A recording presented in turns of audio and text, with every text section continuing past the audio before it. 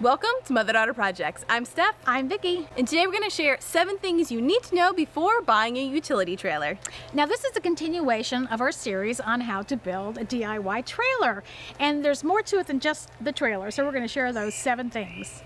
Just a reminder, this is the utility trailer we recently purchased from Harbor Freight. They do sell a variety of models, but today's information will work for really any trailer that you're considering.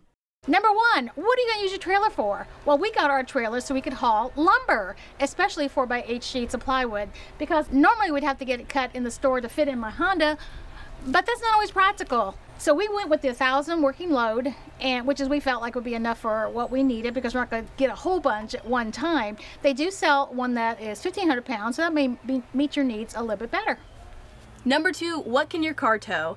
So that's something you want to consider is figuring out if your car can even tow a trailer and what the weight of the trailer can be. So ours can tow, this is a CRV that we got a couple years ago and that was a big deal to us. So we made sure it could tow and it's uh, 1500 pounds is what it can do. And so our trailer works perfect for that. So double check that before you get a trailer. Number three, before you can do anything, you have to do some stuff to your car. When we bought this car a few years ago, we actually had them in install this hitch apparatus right here. But at the time, we didn't know that you had to do something, attach this electrical harness. I don't know why they didn't tell us at the time that we needed this, but we didn't have that. So when we got ready to um, do the whole trailer thing, we realized we didn't have this part, so we took it back to the dealership and they put this on. And Steph will cover the cost of that later on in the video, and as you can imagine, it was fairly expensive. Now, Harbor Freight has a really good placard that's in the store, and it says what to know before you tow. And some of these things are on there, so there are things you need to know before you actually hitch it up and go. Number four, how are you gonna get home? So you wanna see how the trailer actually comes. And this one comes not assembled, it actually comes in two boxes, really easy to fit in the back of the CRV, and we didn't have to try to figure out how to haul it home or anything like that. So see how the trailer comes uh, before uh, it is purchased. And if you're considering getting a Harbor Freight trailer, in our store, you actually go to the very back of the store and there's these little take tabs and you take one of those up to the front, you pay for the trailer, and then they'll bring the boxes out to the front and load in your car for you. So you just put them in your car and you're good to go. But you wanna make sure you know how the trailer comes, if it comes assembled or not, so you know before you get to the store. Number five, be prepared to wait when you buy this. Now, it's not like going in and buying, you know, a screwdriver and you're in and out in no time. It takes a little time to do the actual sale because there's some legal things that they have to do. And if you end up getting a cashier that's never done it before, they have to get a notebook out and figure out what they're supposed to do. It, it's okay, it works, it just takes a little time. Now, they're going to give you an official certificate that you need to hold on to. It's a legal document, it has a VIN number on it, and you're going to need your receipt. Both of the things you're going to need when you go to get your tag. Number six, you want to see if your state requires your trailer to be tagged. And we live in Florida and it does require it.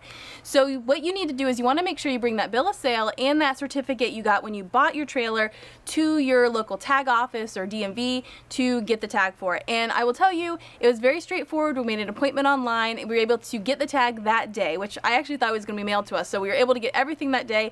So we actually hadn't even built the trailer yet, but since we had bought the trailer, we were able to get the tag. And the tag actually goes right here. This by the way, is not a real tag. This is just for demonstration purposes. Our real tag's underneath. Um, but it attaches to the trailer. Um, I will say that it does not come with hardware to attach the tag to the trailer, so you will need to get that. Um, but what I want to mention is this is pretty flimsy and we've run into this a couple times and so it kind of bent our license plate. So I got this little backer right here that can go uh, to keep it a little bit more sturdy, keep your license plate sturdy. And I just got this on Amazon, so I'll put a link to that below if you want to get this to just make sure your license plate is nice and secure. Number seven, what exactly did we spend? So when you think about getting a trailer, you got to consider all the, the items that you have to get, not just the trailer itself. So that's what we're going to talk about. The trailer itself was actually $350 and we got it on sale, so it's even cheaper than that. But that was the base price of the trailer. Um, and then the plywood right here that we used to make the bed of the trailer, that price plus the hardware to attach it to the trailer was about $100. And the tag was $50, which we will need to renew each year for its registration the extras. So um, we'll be sharing these in upcoming videos, but we got some extra stuff from Harbor Freight to go along with the trailer, and that was about $100 for those items. And then the hitch that mom talked about earlier was about $400, although we don't have a receipt, so we don't know exactly the yeah. price, but we're pretty sure it was $400. And we got that at the dealership. And then the harness to do the wiring, so that to be able to have wiring run to the trailer, that was $275. So all in, it was 1275. So a little over a thousand dollars for the trailer. Or all the things. All of everything, That yes. all the trailer. So I'm pretty happy with that. And yeah, so that's just something to consider when getting your trailer, all the extra things. Speaking of extra things, did you happen to include this in the Oh my gosh. So we haven't talked about this tool yet, but this is a cordless ratchet. Okay, that was loud. was laughing. and this was a game changer for attaching the plywood bed, which we will, like, again, talk about soon.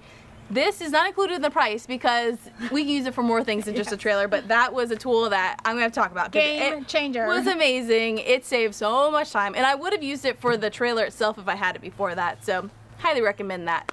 Uh, so if you have any questions about this, uh, let us know in the comments below, and we'll also put a link to the first video and a playlist which will have all the videos once they're complete. So uh, thanks for joining us. If you want to see more projects from us, be sure to visit us at motherdaughterprojects.com and subscribe right here on YouTube. Click the bell and you'll be notified of all our new projects. Bye. Bye. bye, bye, bye. I was giving you a chance to say something. Goodbye. Were I just thought we weren't going to do it this time. Because, you know, when we finish talking, we know it's over, so I don't really think a bye is necessary. It's Oh, nature is starting to make me sneezy. nature.